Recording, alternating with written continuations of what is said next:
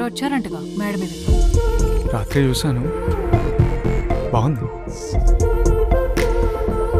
పొద్దున్న చూస్తే ఇంకా బాగుంది నేను మీకు ఓకేనా ఏంటి పడిపోయావా ఎండ దైవమే ఎన్నమ్మా అప్పని చేయటం చేయటంలే మొక్కలు అమ్మాయి అమ్మ అమ్మాయి అప్పన్ వెనక్కు పోయే ఎండమ్మో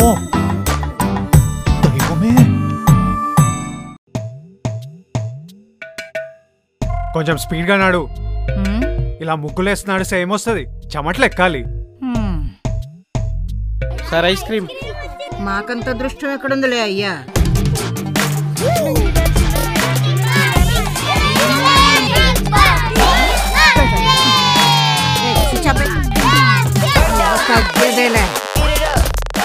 మీరు ఇంకో ఫోర్ హండ్రెడ్ షాపింగ్ చేస్తే మీకు బకెట్ ఫ్రీగా వస్తుంది. ఎక్కడ పెట్టుకోమంటారు? ఇంటి నిండా బోల్డ్ బకెట్లు ఉన్నాయి ఈ ఎదవ టాటిక్స్ నా దగ్గర చూపించకండి. ఎందుకురా ఈ వయసులో ఇన్ని బాధ్యతలు నీకు? అన్నయ్యలంటావు వదినలంటావు.